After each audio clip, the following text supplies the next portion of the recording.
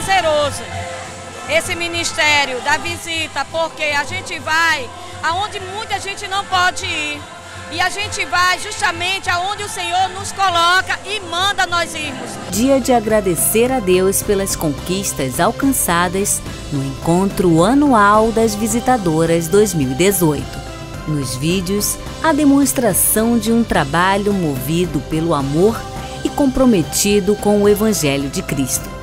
Na ficção, realidades que elas conhecem bem mas que juntas têm enfrentado e vencido através da oração.